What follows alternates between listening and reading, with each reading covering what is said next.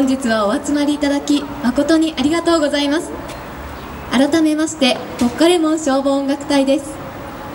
本日司会を務めさせていただきますポッカレモン消防音楽隊牧野です。短い時間ではございますがお楽しみいただけましたら幸いです。それでは早速進めさせていただきます。